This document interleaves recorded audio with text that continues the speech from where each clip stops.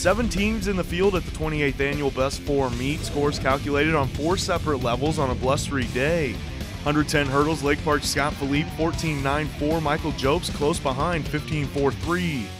Falcon Zach Gordon second to Philippe in the long jump 21.71 for Gordon in the 200 meter dash. Redhawk Sam Bransby finishes second. In the 300 hurdles, Jobes best of level 1, 46.9. That's only two tenths from last season's PR. Falcon Ben Riley, 41.95. Mile run, Nolan McKenna of Wheaton South, first at the tape, 430.75. The hosts were fueled by strong performances in the lower tiers as well as two of four relay crowns in level 1. Micaiah Steele anchors the Falcons to a 331.6 in the 4x4. Wheaton South second in the relay. Redhawks take fifth in the team scores.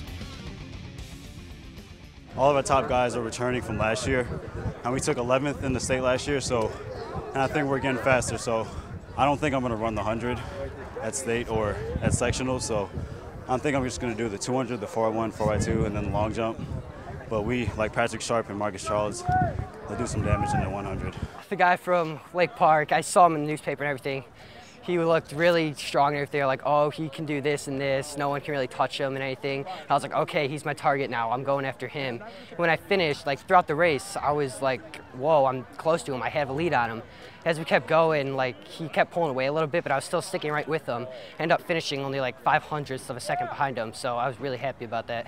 I winded a lot coming down the last stretch of the 300. I feel like I could push myself more though. I was hoping to go sub 40 from what I ran indoors at 200 meter hurdles at Proviso. Last year I had Brett Kolar from Wheaton North. I'd go against him almost every other meet. He'd be way ahead of me and I'd be like, that's my target. That's what I'm gonna go get. I'd chase him the whole time. So he's the one that pushed me